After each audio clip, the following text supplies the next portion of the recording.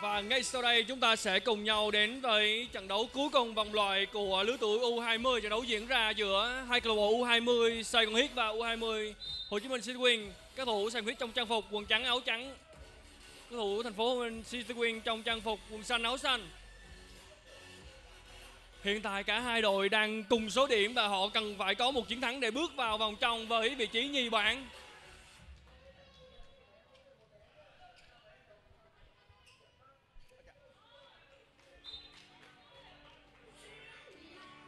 Có một điều đặc biệt là trước khi trận đấu này diễn ra thì cả hai đội bóng đều có 37 điểm.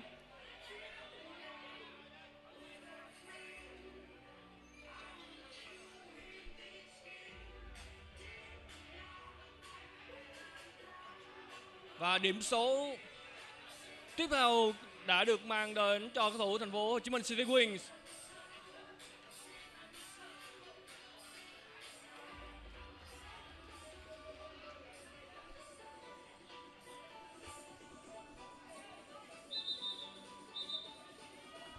Rồi thì theo nhận định của chúng ta thì các cầu thủ Hồ Chí Minh City Wing đã chạm vạch và bóng thuộc quyền kiểm soát của Sài Gòn Heat.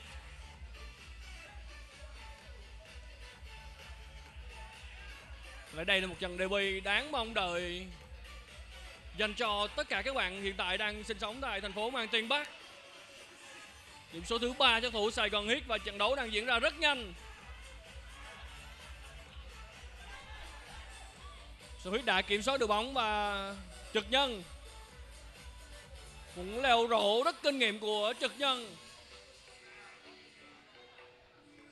Nỗ lực phòng ngự của thủ thành phố Hồ Chí Minh nhưng với chiều cao và thể trạng của mình thì các thủ Sài Huyết đang chiếm một chút ưu thế. Ngày hôm qua thì các thủ thành phố Hồ Chí Minh City Wing họ đã có một trận đấu rất kịch tính đối với các thủ hiện tại đang đứng nhất bảng là Cần Thơ Catfish. Họ chỉ để xảy chân ở những giây cuối cùng.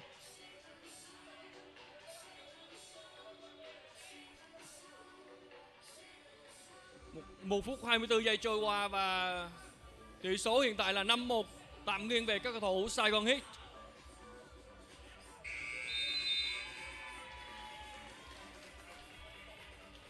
Rồi thì chính Thuận đã nhận thấy đồng hồ đã đi về những giây cuối cùng nhưng rất đáng tiếc và ra tay cuối cùng của anh ấy lại không thành công.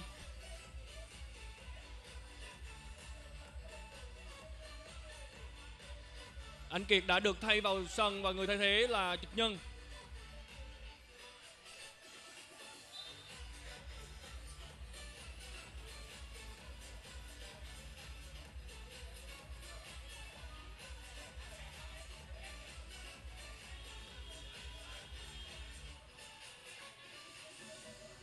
năm giây ném rổ là Phúc Vinh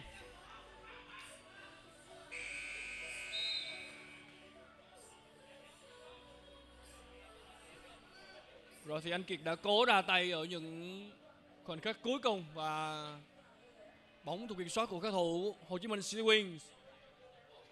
Đăng Khoa. Chính Thuận quyết định ném 2 điểm.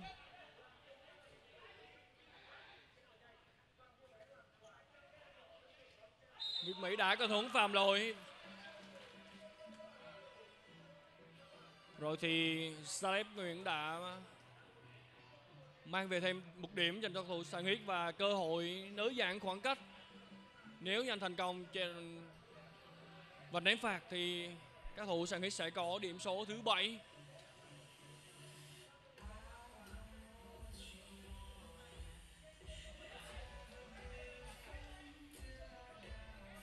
Chính Thuận ngay sau khi mang điểm số thứ bảy về cho các thủ Sài Gòn X thì Việt Mỹ đã có thủ nỗ lực phòng ngự, khá đáng tiếc là bóng vẫn thuộc kiểm soát của các cầu thủ. Hồ Chí Minh City Wing quyết định ném hai đến từ Đăng Khoa. Trực Nhân. Anh Kiệt quyết định lao rổ rất nhanh và mang về điểm số thứ 8 cho cầu thủ Sài Gòn Hit và đã có tình huống. Phạm lỗi kỹ thuật.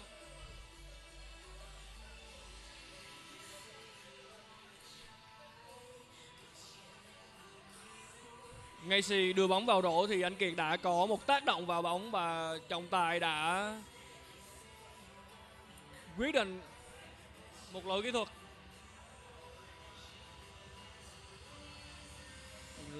Khá đáng tiếc là cầu thủ Hồ Chí Minh City Wing lại không tận dụng thành công trên thủ bóng vừa rồi. Đăng Khoa, bóng qua tay của Chính Thuận. Đài An đang liên tục có những yểm hộ dành cho Chính Thuận. Đây là Đài An với pha ném 2 điểm. Trực nhân. Việt Mỹ đã xiên bóng và đây là Phúc Minh với pha đột phá trung lộ. Việt Mỹ đã rebound được bóng. Qua tay của Trực Nhân. Liên tục là những pha có động tác giả ném và qua người rất nhanh đến từ các cầu thủ Sài Gòn Heat.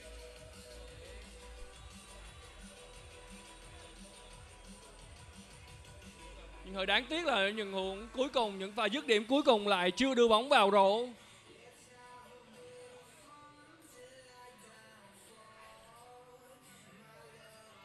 Rõ ràng với một tốc độ thi đấu nhanh các thủ Sài Huyết đang muốn đưa trận đấu kết thúc sớm. Nhưng rõ ràng là các cầu thủ trẻ cần phải cẩn trọng để hạn chế những chấn thương có thể xảy ra.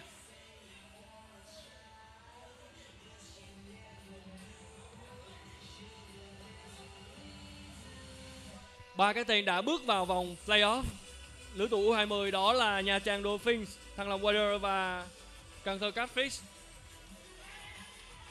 Đội bóng nào chiến thắng trong trận đấu ngày trận đấu này sẽ gặp đối thủ là Cần Thơ Catfish vào chiều nay vào khoảng thời gian khoảng 6 giờ chiều nay.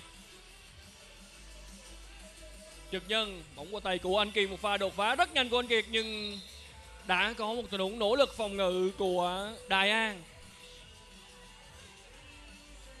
Và sau nỗ lực phòng ngự vừa rồi thì Đài An đã mang bóng về cho các thủ City Wing.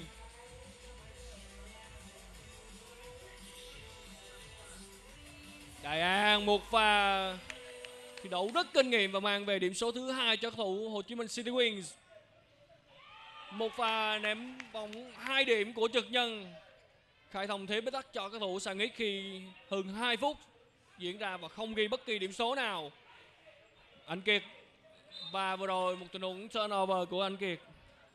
Có vẻ như sau trận đấu thi đấu không qua không thực sự tốt thì anh Kiệt vẫn đang có một chút chưa gỡ bỏ được tâm lý. Đăng Khoa. Đăng Khoa đối đầu với Phúc Vinh.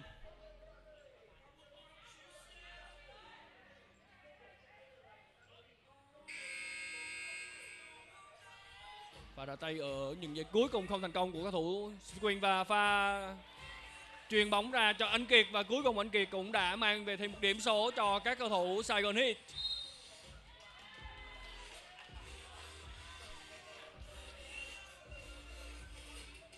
Rồi quyết định của trọng tài là các cầu thủ Sĩ Quyền đã dẫm vạch và bóng thuộc quyền kiểm soát của các cầu thủ Saigon Heat. Trực nhân anh Kiệt làm gì đây quyết định ném hai điểm.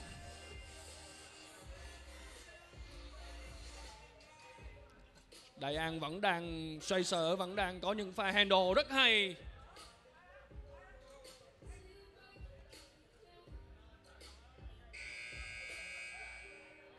Fred cuối cùng của cầu thủ mã số 9 anh Trí quyền không thành công.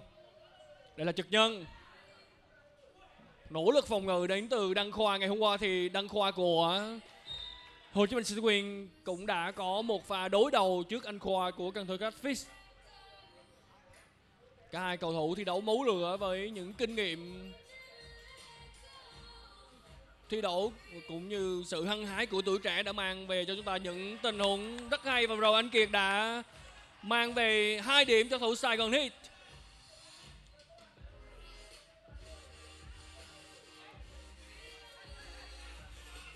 Trực nhân.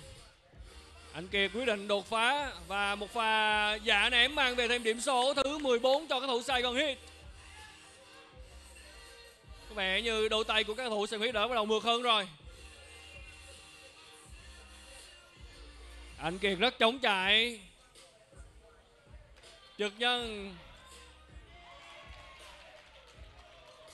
Những tình huống bóng di chuyển liên tục phá tan hàng phòng ngự của các thủ Hồ Chí Minh City Wings Thêm pha siêu bóng nữa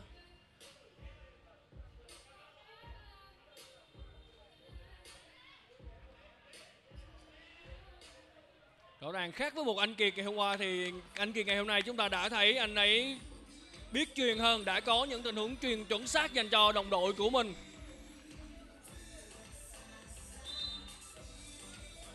Rõ ràng, đối với các cầu thủ trẻ, mong muốn được thể hiện để lọt vào mắt xanh của các huấn luyện viên là một điều các em cần phải làm. Nhưng đối với các huấn luyện viên, đối với một giải đấu chuyên nghiệp như VBA thì rõ ràng những pha truyền bóng cũng là những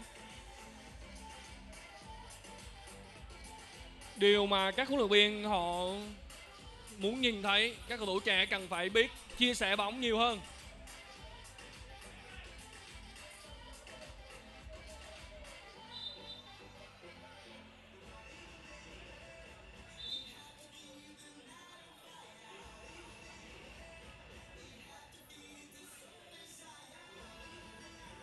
Bóng vào sân và thời gian thi đấu chỉ còn 4 phút 10 giây và khoảng cách đến chiến thắng hiện tại của thủ Sài Gòn Huyết là 5 điểm. Anh Kiệt. Phúc Vinh. Phúc Vinh rất mạnh mẽ và mang về điểm số thứ 17 cho thủ Sài Gòn Huyết.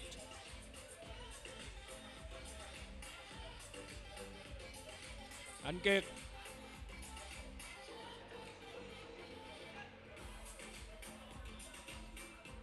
đang là ít Kiệt quyết định truyền bóng cho Phúc Vinh và điểm số thứ 18 Và sau những tình huống nỗ lực phòng ngự của mình thì các thủ Hồ Chí Minh Sea Wing họ đang bắt đầu có những chàng tròn và vụt mất đi thế trận của mình. Trực nhân, Việt Mỹ đã được đưa trở lại sân và đây là tình huống tấn công rộ của anh ấy và một cuốn truyền ra trực nhân quyết định ném hai điểm. Một chiều cao rất cao, chiều cao trên mấy chiến thì việt mỹ đang chiếm rất nhiều ưu thế trong khu hình thang. Anh kiệt. Bóng vẫn chưa chạy vào rổ và việt mỹ ngoài rebound anh ấy còn có những tình huống nỗ lực để lấy được bóng và rồi trực nhân đã mang về điểm số thứ 20 cho cầu thủ trẻ sài gòn Heat.